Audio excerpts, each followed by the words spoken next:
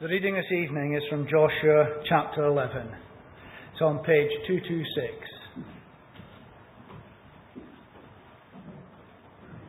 Joshua chapter 11, page 226, verses 1 to 23.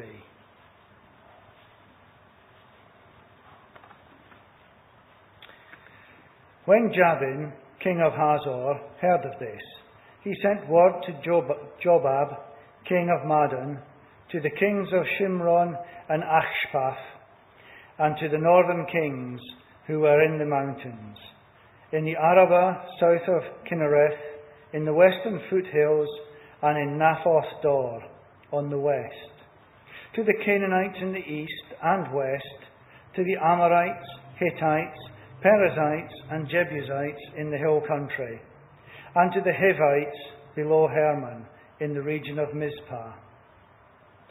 They came out with all their troops and a large number of horses and chariots, a huge army, as numerous as the sands on the seashore. All these kings joined forces and made camp together at the waters of Merom to fight against Israel.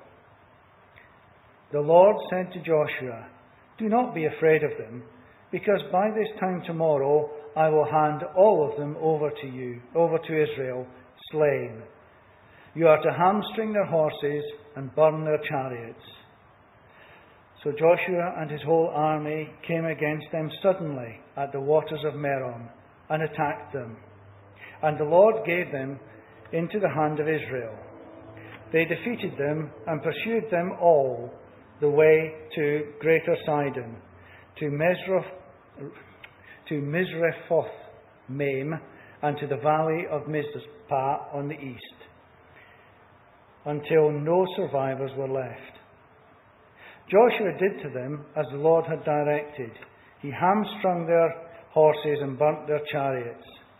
At that time, Joshua turned back and captured Hazor and put its king to the sword. Hazor had been the head of all these kingdoms.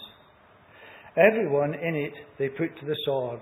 They totally destroyed them, not sparing anything that breathed, and he burned up Hazor itself. Joshua took all these royal cities and their kings and put them to the sword. He totally destroyed them, as Moses, the servant of the Lord, had commanded. Yet Israel did not burn any of the cities built on their mounds, except Hazor, which Joshua burned. The Israelites carried off for themselves all the plunder and livestock of these cities. But all the people they put to the sword until they completely destroyed them, not sparing anyone that breathed. As the Lord commanded his servant Moses, so Moses commanded Joshua, and Joshua did it. He left nothing undone of all that the Lord command, commanded Moses. So Joshua took the entire land, the whole country, all the Negev, the whole region of Goshen, the western foothills, the Arabah, and the mountains of Israel with their foothills. From Halak, from Mount Halak, which rises towards Seir, to Baal Gad in the, in the valley of the Lebanon, below Mount Hermon. He captured all their kings and struck them down, putting them to death. Joshua waged war against all these kings for a long time, except for the Hivites living in Gibeon. Not one city made a treaty of peace with the Israelites, who took them all in battle. For it was the Lord Himself who hardened their hearts to wage war against Israel, so that He might destroy them totally, exterminating them without mercy, as the Lord had commanded Moses. At that time, Joshua went and destroyed the Anakites from the hill country, from Hebron, Debir, and Ada, Anab, from all the hill country of Judah, and from all the hill country of Israel. Joshua totally destroyed them and their towns. No Anakites were left in Israel, ter- Israelite territory. Only in Gaza, Gath, and Ashdod did any survive. So Joshua took the entire land, just as the Lord had directed Moses, and he gave it as an inheritance to Israel, according to their tribal divisions. Then the land had rest from war. Thanks be to God for this reading from His holy word.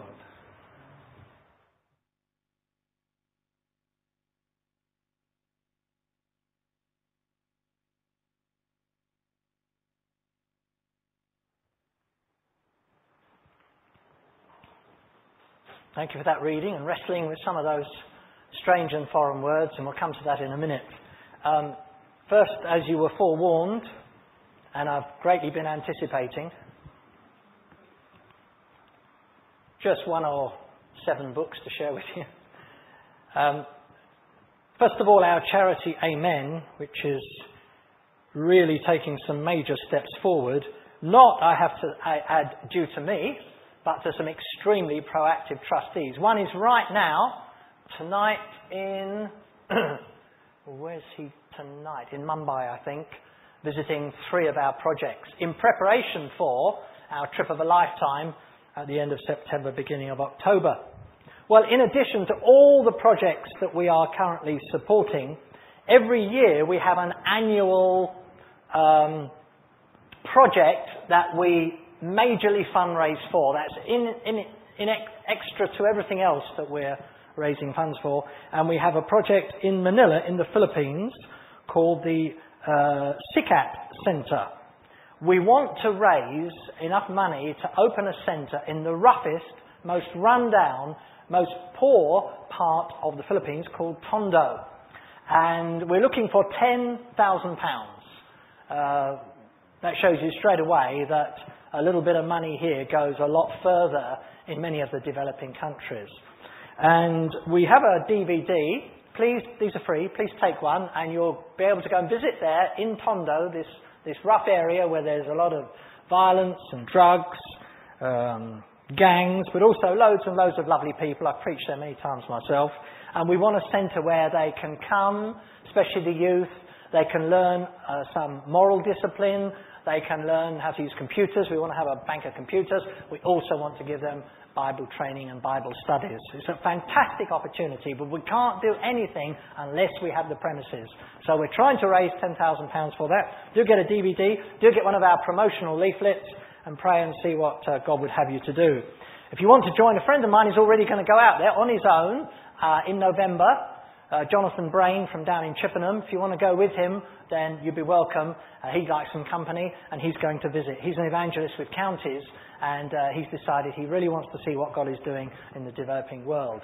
So get one of those leaflets, they'll be liked, and do get one of the DVDs as well. We've got our own charity newsletter that comes out regularly that you can have a look at, and our own newsletter. If you want to keep in touch with what we're doing, we send out a monthly update. Just sign your name on the bit of paper there next to our update. And I know already some of you get it, and you can be in touch with what's going on. Also, do feel free to take one of these little cards. Oh, yeah, one other thing to do with our charity. We have just launched an international cookbook called Taste and See. This has been uh, professionally produced. All the recipes have been tried out on one of our trustees who's put on quite a bit of weight as a result. His wife cooked everything. It's, it was designed and made by women, so it's really friendly. It opens up like that. If it gets dirty, you just wipe it off because it's got that sort of texture. And there's recipes from the Philippines here. If you want to try some of those from uh, Southeast Asia, from Nigeria, from, uh, oh, just all over the place. India, uh, Europe. It's very, oh, that looks good. I just saw on there, easy cheesecake. Whoa. Mm, anyway, uh, these are seven pounds, and all the profit goes to Amen. So do have a look at that. The launch date isn't until September, so we're doing an early pre-launch on that one. And then books, just a few classics. If you haven't read these, then you need to. Calvary Road by Roy Hession used to be required reading on Operation Mobilization. The fact that the road following Jesus is the road of the cross. It's got a forward by George Verwer and added notes by Lynn Green, Director of Youth with a Mission. Calvary Road, a classic. It wouldn't take you long to read it, but uh, although it's short, it could have a major impact on your life. Another classic, of course, is Pilgrim's Progress. I'm amazed how many Christians have never read Pilgrim's Progress. This is in modern English. This is the book that's been translated into more languages than any other except the Bible. Pilgrim's Progress. Really, just a wonderful, wonderful story. John Bunyan, a dream that he had while he was in prison. And then, of course, Charles Finney on revival.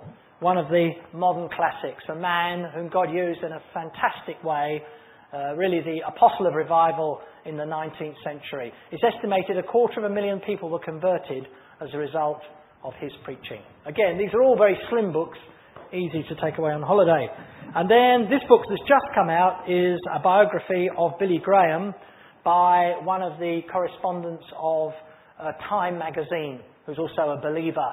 It's called on the back, One Man Who Changed the World. He's preached in person to more than 210 million people in 185 nations.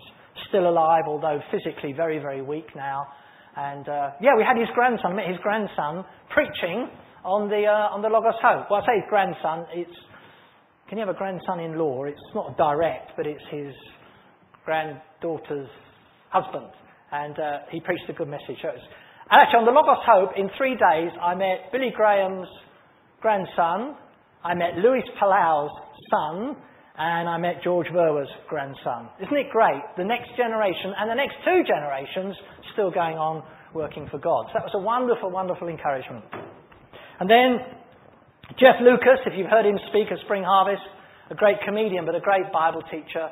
Grace Choice is very easy to read, but really makes you think. I think Steve Chalke said he wished that he could write like, uh, like Jeff Lucas did. John Piper, classic. Let the nations be glad. How, what does the Bible have to say about missions? This book will tell you. It's one of the required reading actually in quite a number of Bible schools. This will open your eyes big time. The whole of the Bible is about missions.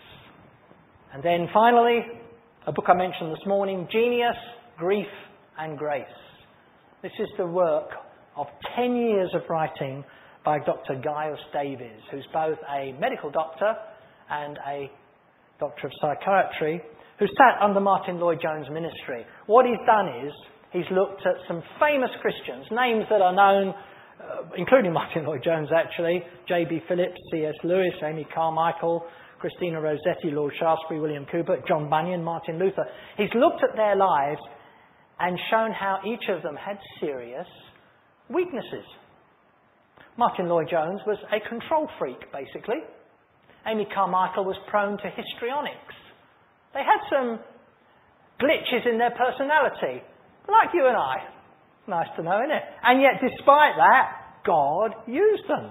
So this isn't a critical book, it's more a, a book of encouragement as he looks at these lives and shows how all of us are fatally flawed in different ways, and yet God still uses us. What an encouraging book. And very well written. A classic. I recommend it. Many other books too, many other bits of free literature at the back.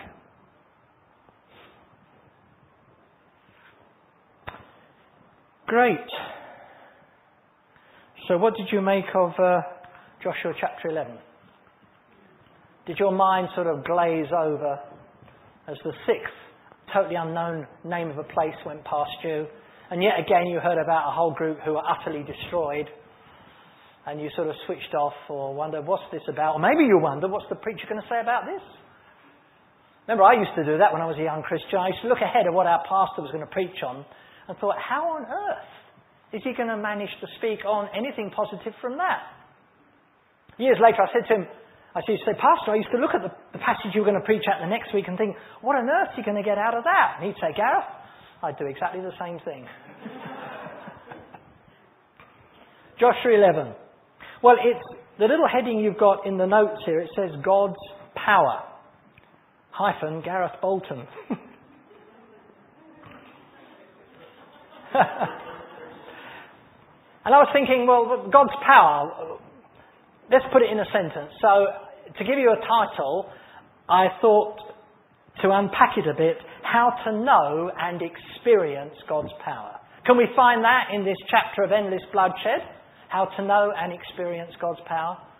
Well, let's see. Let's just pray and then we'll look at this together. Father, I ask now that you'd help me to share your truth we don't want to hear just what I've got to say, but what your Spirit has to say through your word. And just ask now you'd open our hearts and make us attentive, even though we might be feeling a bit tired on this warm evening. Nonetheless, Lord, your word is a living word. And we pray that it would open up your truth to our hearts. In Jesus' name, Amen. Well, what is really remarkable here about Joshua chapter 11? What is really remarkable is that at first sight, there is nothing remarkable. You've been going through Joshua, is that correct? So you will have seen some pretty spectacular things, including last week. I presume Joshua 10 last week, was it? So, of course, there's the story, the remarkable story of running around, the, walking around, marching around the walls, and then blowing their trumpets and shouting, and the whole thing collapses. It's pretty spectacular, isn't it? And then there's the story of the waters of the Jordan backing up. Again, supernatural, exceptional happenings. And then last week, you had a double dose, didn't you? Those of you who were here. You have the account of these gigantic hailstones falling down, just chapter 10, verse 11. As they fled before Israel on the road down from Beth Horon to Azekah, the Lord hurled large hailstones down, down on them from the sky. And more of them died from the hailstones than were killed by the swords of the Israelites. Wow. Massive hailstones. And then just a few verses later, that unforgettable experience that only ever comes once in the Bible of the sun standing still. I don't know what your preacher said about this last week. Wish I could have been here. But the sun stood still. Look at it there in the next few verses after the hailstones. Verses 13 and 14. Let me read it. So the sun stood still well, go back one verse, verse 12. On the day the Lord gave the Amorites over to Israel, Joshua said to the Lord in the presence of Israel, O sun, stand still over Gibeon. O moon, over the valley of Aijalon. So the sun stood still and the moon stopped till the nation avenged itself on its enemies. As it is written in the book of Jasher, the sun stopped in the middle of the sky and delayed going down about a full day. There has never been a day like it before or since. A day when the Lord listened to a man. Surely the Lord was fighting for Israel. Wow, spectacular, supernatural stuff. Well, this week there is nothing spectacular. There's nothing like that. There's nothing overtly supernatural about this passage. And some people are always looking for the spectacular are not happy unless they are seeing or experiencing some miraculous happening. So much so that, I don't know if you met people like this, they seem to lose sight of God. In the ordinary, God in the mundane, God in the routine, God at home, God in the workplace. It's often where God meets people. If you look in the Old and New Testament, it's actually in very much in, in the daily task in what we do each day. And what is very dangerous, if you're always hankering after the dramatic, is you forget that the most wonderful miracle of all, miracle of all, which is almost always unseen, is the work of the Holy Spirit bringing somebody from darkness to light. Somebody from the kingdom of Satan to the kingdom of God. The work of salvation. What greater miracle can there be in the life of an individual? And as I say, this persistent desire for signs and wonders can often give people almost uh, an impatience when it comes to prayer. There's, prayer is unnecessary almost in the thinking of some of these people. We just want to see something really dramatic happening. And people have said to me, they've actually said, if we had more spectacular, dramatic signs and wonders, people would be more likely to flock into the kingdom of God? Well, I stand to be corrected, but I'm not so sure that's true. Jesus later said this about some unbelievers. If they do not listen to Moses and the prophets, they will not be convinced, even if someone rises from the dead. So there's nothing dramatic. I can't unpack to you some supernatural happening. Unless, of course, there is one thing that is incredible, that's crucial to the whole outcome of this chapter. Verse 20 says this He hardened their hearts. An unseen thing, as is so often the case in our hearts. But it changed the whole direction of this chapter. God doesn't need the obviously miraculous or some special intervention to give us victory. Now, God does sometimes use miracles and spectacular answers to prayer. I guess I would count getting the flight in Bermuda in all sorts of incredible ways and getting back. And you know, the Sunday that I arrived back for, which I would have missed, at that very meeting just outside Birmingham, a number of people committed and recommitted their lives to Jesus Christ. But God can work without that. Sometimes He sends it, but if all the time you're just looking for this supernatural breakthrough, then you could be very disappointed and actually miss out what God is doing in the day to day and in the mundane. So, what sort of hearts did these people have before God hardened them? Well, the chapter begins with a rather ominous ring to it. Did you note the early words, the opening words? When Jabin, king of Hazor, heard of this. What had he heard? What was it that so alarmed him? What was it that stirred him into action? Well, you see, chapter 9, sorry, chapter 10 is all about the conquering of the southern kingdoms. Chapter 11, which we've just read, is all about the conquering of the northern kingdoms. So, what is it he'd heard? Well, he'd heard about the southern kingdoms. He was a king of the north, okay? News came to him that in the southern kingdom there had been an earlier attack by Joshua that was utterly devastating. I don't know if you were here last week or can remember back to last week, but we have the same phrase six times in six verses of chapter 10. And the phrase is, they left no survivors. When Hazor, Jabin, king of Hazor, heard this, he sent word. They left no survivors. Nobody was left to tell the tale. The whole of the next generation had been virtually wiped out. That's what the king of the north hears. No wonder he's alarmed. So, what does he do? What's his response to such total annihilation? How does he react? This has been an awesome demonstration of the power of God. He's at a crossroads. He has a choice as to how he's going to react. What does he do? It's decision time. And he's got a choice of two ways that he can turn. God's power has been clearly demonstrated. People have been annihilated by the leader of the Israelites. Those who worship the Lord God. Those who say there is only one Lord God. What conclusion does he draw? He hears about these things. Faith comes through hearing, and hearing comes through the Word of God. So he has heard. Okay? He's heard what's gone on. Now he has to make a choice. You're sitting here this evening, you've heard about God. You have made or you are making a choice right now.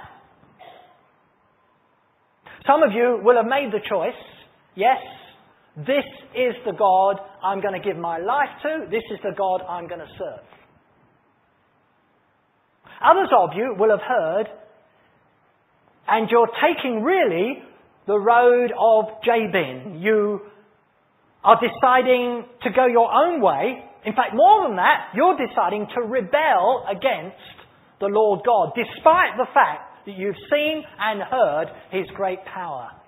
And there are consequences for whatever choice you take. And we're just about to see the consequences, the utterly tragic consequences that happen when Jabin has heard what God has done, he's seen what God has done, and decides, because he has freedom to decide, to go his own way and not submit to that power. I mean, I could spend the whole time on this first verse. It's incredibly challenging. He'd heard. There was no excuse. He'd seen, and still he decides that he's not going to go the way that clearly is being indicated to him. do you notice that uh, earlier on in the book of, of Joshua, there were others who heard? Rahab, way back in chapter 2, she was in the same position really as, as, as Jabin was. She knew the news. What's, what's Rahab's reaction in chapter 2? Let me just read it to you. Verse 10.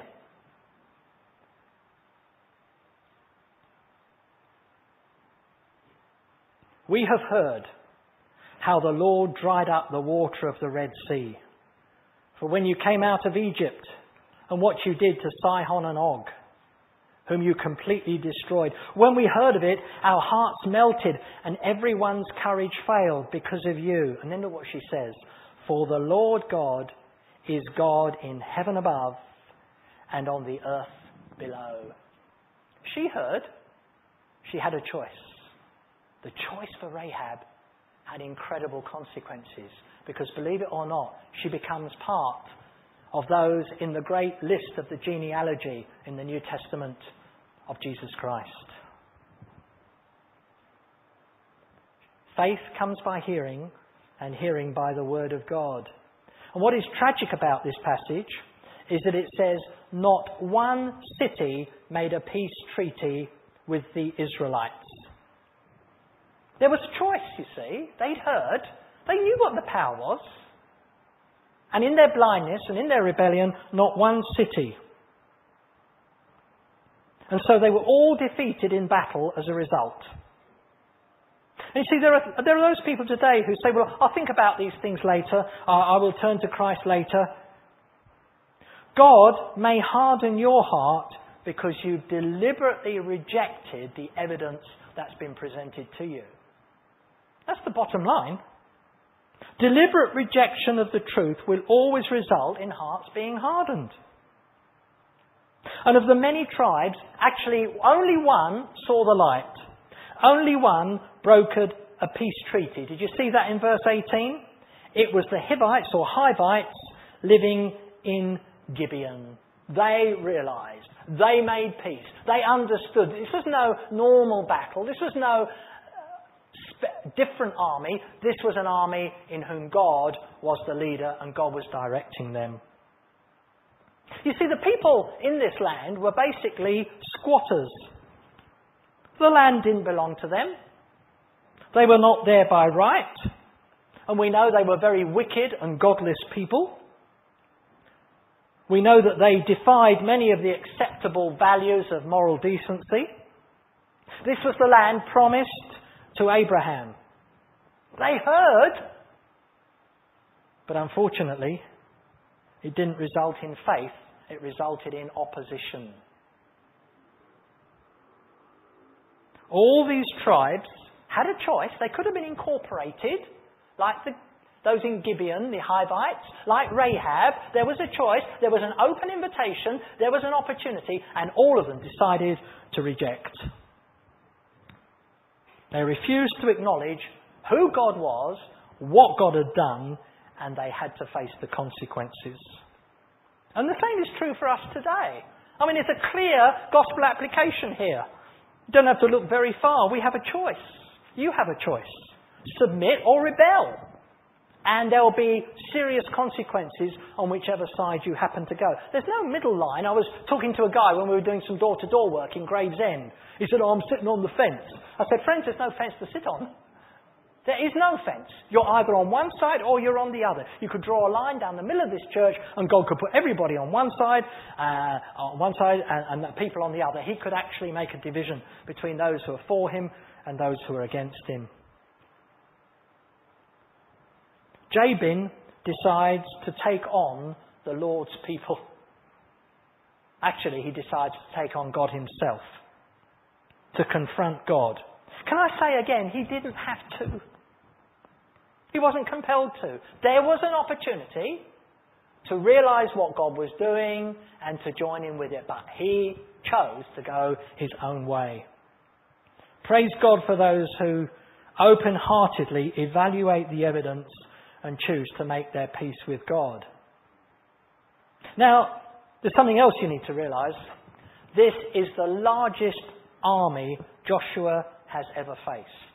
This is enormous. It's far bigger than the southern kingdom. It's the entire northern kingdom. It's, it's a fight that's, in one sense, parallel to the fight against the southern kingdom, except this was much larger number of people, are more fearsome than people, and notice they possessed, and we mention this in verse 4, horses and chariots. In fact, it says, a huge army as numerous as the sand on the seashore. Sand on the seashore? What does that mean? Well, when you look at sand, you can't see the individual grains, can you?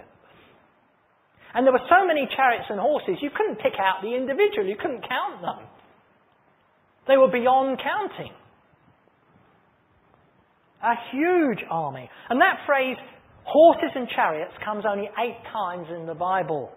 And one of the places where you'll remember it mentioned first, and perhaps most significantly, is in the horses and chariots of Pharaoh that pursued the Israelites across the parted Red Sea in Exodus chapter 13, 15. So this isn't just another skirmish. This is an enormous battle. And Jabin, we're told, is king of Hazor. Hazor was multiple, multiple times bigger than Jerusalem. You probably never heard of Hazor. I hadn't until I started studying this. Hazor was a metropolis. It's 40,000 people. It made Jerusalem look like a, a village. It was colossal. And he had to take on a far larger and a far better equipped army. Now, to you, horses and chariots, friends, chariots were the advanced war machinery of their day. They were personnel carriers, really, armed personnel carriers. They were like our equivalent tanks, I suppose. They, they struck terror, moving rapidly with with the horses and with the soldiers armed and defended. The Israelites didn't have these. One commentator says they weren't allowed to have them. The Israelites had donkeys, mules, not horses and chariots. So when you look at this, this was an unequal battle, okay? It's like your local territorial army arriving in Red Square on May the 1st and taking on the whole Russian military parade. You know May the 1st, where they have these parades with the latest strategic missiles, and it just seems an endless line of them coming one after the other. That's something like the equivalent. It's going to be a miracle if he wins, isn't it? The challenge is enormous. What does he have to do? Well, he's told in verse 6, not many details, but you have to hamstring their horses and burn their chariots. I knew nothing about hamstrings until two months ago. I've been jogging for 40 years. Ever since I started teaching, I've been jogging. When I started jogging back in, uh, what, 1971, there weren't many people jogging. You get people, you know, stopping in their cars and winding down the windows. People didn't do jogging then. Nowadays, you know, what with the marathon and everything. And I never had a problem. I mean, I did have a major accident, but I came through that. Until the Bahamas, of all places, on the Logos Hope. I've been on a long run, it was an hour. I was coming back, I was in sight of the ship, and suddenly, on the back of the thigh, oh, it's like I was poleaxed. I was so pleased I was within sight of the ship. If I'd been half an hour away from the ship, it would take me the whole day at the best to get back, so I haven't got any money. The hamstring, it totally finishes you, man. I just hobbled back in, and uh, I'm still not completely through it jogged for 40 minutes yesterday, which was the most I've done for a long time. The hamstring is sort of vital part of, of your whole running process. But if you hamstring a horse, it's useless. It can't move any further. Burn a chariot, well, of course, that's the finishing. And of course, horses have always been an important part of the world there. They still are today, aren't they? Arabs love horses. Thoroughbred Arabian horse is a beautiful sight. And even the Dubai has, a, I think, the Grand National or a, a national racehorse now. the classic. Where is all this happening, by the way? Well, it's happening, according to verse 5, at the waters of Merom. Doesn't strike me as a very good place for chariots. That's what happened to the Egyptians, didn't it? The chariot wheel, which is quite thin, got stuck in the mud. The waters of Merom are a great swampy area in Israel with sort of peat underneath. They tried some years ago to drain it and to make the land useful for building, but I don't think it's really ever worked out. So it was not a good choice to have a chariot. In fact, it's a very watery area. In verse 2, it talks about, do you see the word there, Kinnereth? Don't miss Kinnereth in verse 2. That's in the New Testament, Galilee, okay? Kinnereth, Chinnereth, Old Testament equals Galilee, New Testament. So between Galilee, going north, you have the waters of Merom. So not a bright idea to start having chariots there. But a bright idea in one sense, because it's a crossroads. It connects east, west, north, south. But from a military point of view, well, uh, they should have thought again. Muddy ground is not conducive for battles involving chariots. You thought they would have learned that from Egyptian history.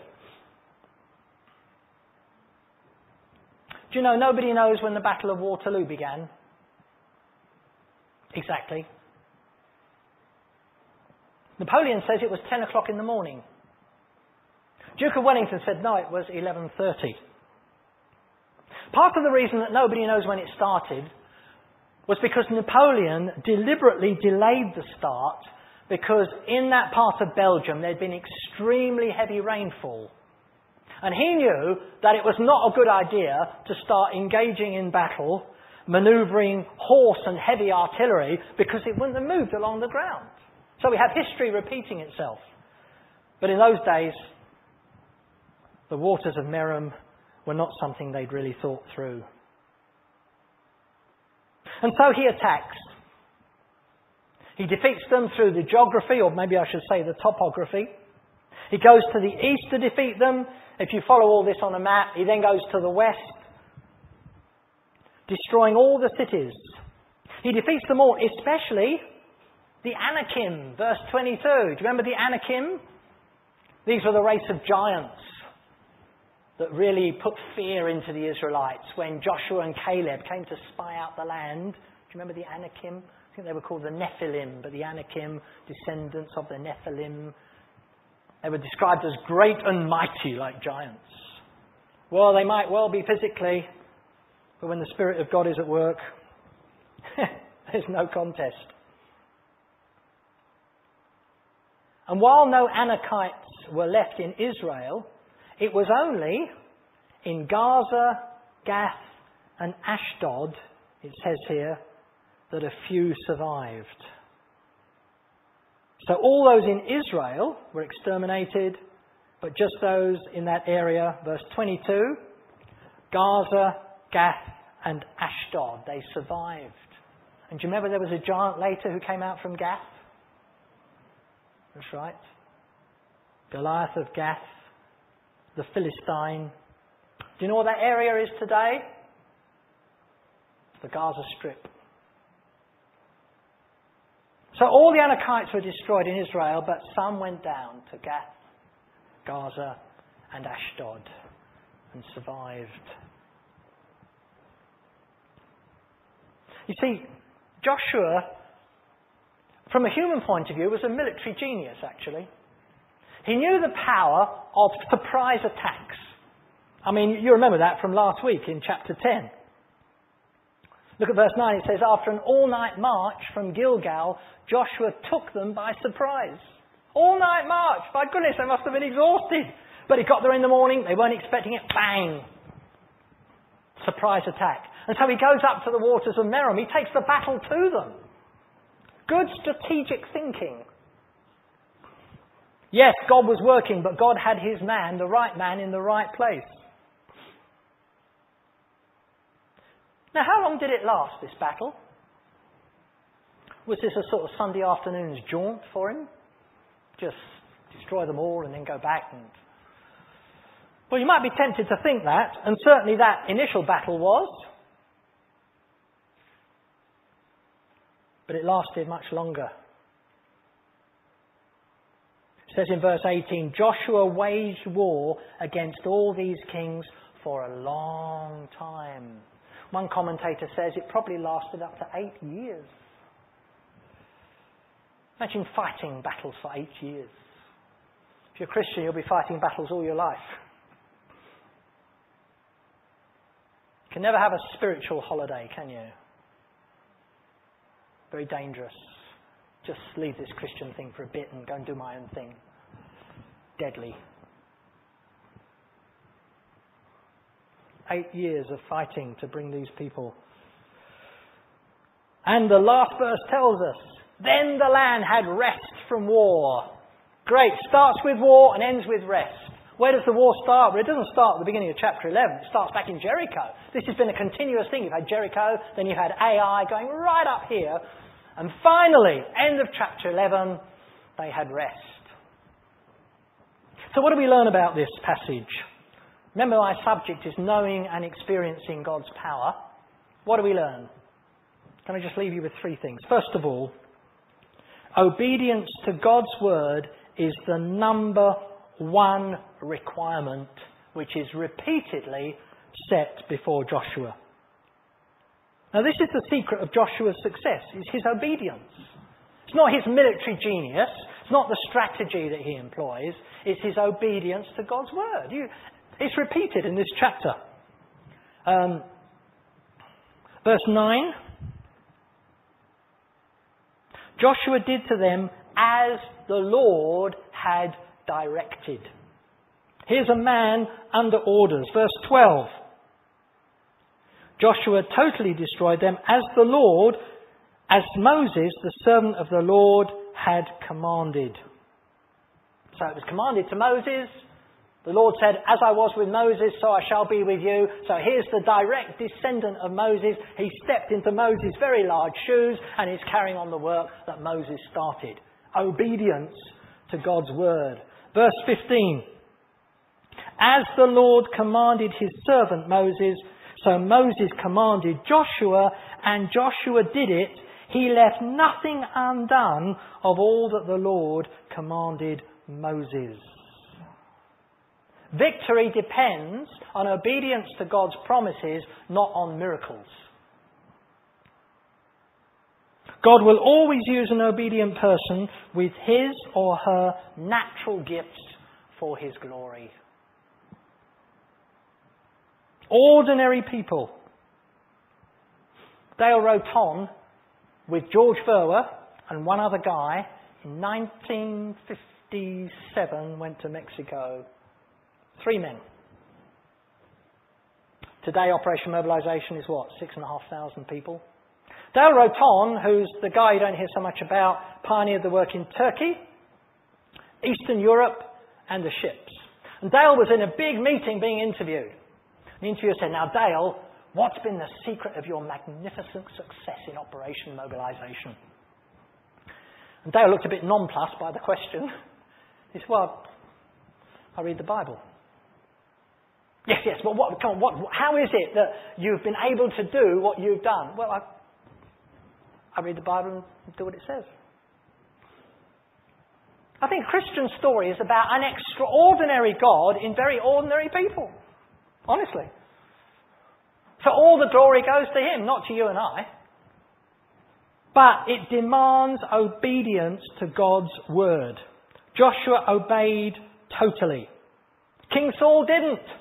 He was told to king to kill Agag and the Amalekites. And then, when confronted later, it's clear that he hasn't done totally what God told him to do. So that's the first thing. Obedience to God's word is key to having an effective life. Second thing is obedience means being brave and going forward even when you're outnumbered. I'm amazed, you know, and you must have picked this up. How many times did God say to Joshua, be brave? I, I haven't counted it up. It's astonishing. Be brave. Have courage. Do not fear. It's a repeated mantra that comes to this man. I mean, the very first chapter of Joshua, verses 6 to 9. Let me just read it. Count up. How many times does it say here? Don't be afraid. Verse 6 Be strong and courageous, because you will lead these people to inherit the land I swore to their forefathers to give you. Be strong and very courageous. Be careful to obey all the law my servant Moses gave you. Verse 8 Do not let this book of the law depart from your mouth. Meditate on it day and night. Verse 9 Have I not commanded you? Be strong and courageous. Do not be terrified. Do not be discouraged, for the Lord your God will be with you wherever you go. Courage. There's something about seeing courage in action, isn't it? I don't know anything that, that stiffens your spine more than to see somebody being brave. I am not a brave person. I am naturally a coward. Really, I'm a devout, I'm a religious coward, I'm a devout coward, okay? A yellow streak goes right through the middle of me. It really, honestly does. But the command is be brave. Don't be discouraged. Don't be afraid because I'm with you. Athanasius, have you heard of him? Athanasius was an early bishop of Alexandria who stood alone against the teaching of Arius. Arius taught that Jesus was not the eternal Son of God, but was subordinate to God in his being. Athanasius stood alone against that doctrine. He was constantly hounded, and it is said he went into exile five times. The Emperor Theodosius demanded he cease his operation to Arius. The Emperor said to Athanasius, Do you not realize that all the world is against you? Athanasius replied, Then I am against all the world. That's conviction. Today, we owe a huge debt of gratitude to Athanasius, who stood against the heretical teaching that threatened to engulf the whole church. And it's just the Jehovah's Witnesses and a few others who hold on to that teaching today. Obedience means being brave even when you're outnumbered. Do you feel outnumbered? In your office, do you feel outnumbered? In your neighbourhood? In your road? In your family? Do you feel in the minority? Well, I think we all do at times. And the devil wants you to play the numbers game. He says, There's only you. What effect can you have? You're surrounded by mainly non Christians or people who don't understand. Why bother? Give up.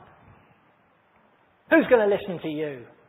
Here in postmodern Britain, don't bother. Keep your mouth shut. I mean, this was fundamentally once a Christian society. Britain was. We had Christian values. Even if many didn't understand the values or didn't know why they were obeying them, a Christian consensus pervaded society on issues of morality, on issues of honesty and integrity. Today we have MTV values. We are in the minority, sure. But we always will be. That's not a reason for battening down the hatches and going into survival mode. Here's an opportunity to make a difference. Do you believe you can make a difference? One person making a difference? I do. I totally believe it. If the creator of the universe lives in our hearts, how can we not make a difference? It's a denial of what we believe. Don't let the devil say, oh, there's only one of you. Look at all those out there. You're not going to make a difference. Be quiet. Batten down. Don't say anything in the office. Don't say anything in the home. Don't say anything in the neighbourhood. You might lose your popularity. They'll laugh at you. I think we'll be surprised when we find out those who have been observing us.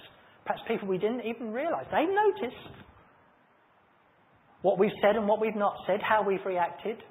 We'd be amazed. Obedience means being brave, going forward, even when you're outnumbered. And finally, not only does it, are we required to be obedient to God's word, not only are we to be brave and go forward, but thirdly, obedience means walking by faith, not by sight. Do you notice? Joshua had very few details about how he was to fight his battles. And not just Joshua, I mean, you look at anybody in the Bible Gideon, Moses. God always said, This is how it's going to end. This is, what the, this is going to be the conclusion. Now, you just go forward. And I'm sure, particularly in uh, Joshua 1, God keeps saying, Be strong, be brave. Joshua says, Yeah, okay, okay. Now, how do I do it? This is how you do it. I am with you. Be strong, be brave. Yes, yes, I, I understand that you're with me. I, I know you. How do I do it? Just go forward. My presence is with you. My grace is sufficient. God isn't even into giving the details. He could do. He could give you the details. He could say, I'm going to tell you what to do. Okay, fine. I'll just get a pen and a bit of paper. Where are we? Okay, right. Okay, right. What do you want me to do, God? I'm listening. You are with me. Okay, yeah, I know that you're with me. Yeah. Be strong and brave. Yeah, be strong and brave. God, just tell me how to do it. Uh oh. We walk by faith, not by sight. He just says, go forward, trust me, be brave, and at the end of the story, I'll tell you what's going to happen in the end. This is what's going to happen in the end. Gideon, you'll defeat all the Midianites. Joshua, you will have total victory over all of not just the southern, but also the northern kingdoms. He promises us his presence. He does not promise us his plans. How frustrating, but that's how it is with God. That's why we live by faith, and without faith, it's impossible to please him. Deuteronomy 20, verse 1. When you go to war against your enemies, and you see horses and chariots, and an army greater than yours, do not be afraid of them, because the Lord your God, who brought you up out of Egypt, will be with you. Verse 4 For the Lord your God is the one who goes with you to fight for you against your enemies to give you victory. My dear friends, God has given us firm and sure promises. Whatever situation you face now, or you and I are going to face in the coming week, this is a great reminder. All of us are part of a far bigger picture of God's purposes and the spiritual warfare we're all called to. We're constantly battling against wickedness, primarily against uh, the depravity often in our own hearts, but also in the wickedness around us. Okay, we, we won't face physical armies, we don't face hailstones, so we don't have hailstones coming down, but we're encouraged to hold fast without wavering, trusting God in the difficulties, for He is faithful who promised. Let's stop and consider these things and then watch the results when our trust is ultimately in God alone. That's what I picked up from Joshua chapter 11. There is victory if we obey His word, if we go forward in faith, and if we walk not by sight, but by faith. I'm encouraged. Let's pray. Father, these Old Testament passages are often secret treasure houses of stored truth. Thank you that although they were written many years ago to another people, in another time, in another language, in another culture, in another situation, still the principles are as relevant today as they were then. Help us to apply them, not in the ease of a Sunday church meeting, but in the challenge of a Monday morning meeting. Thank you, Lord, that all your resources are available and that you, an extraordinary God, can do extraordinary things in us, very ordinary people, as we give our lives to you. In Jesus' name, Amen.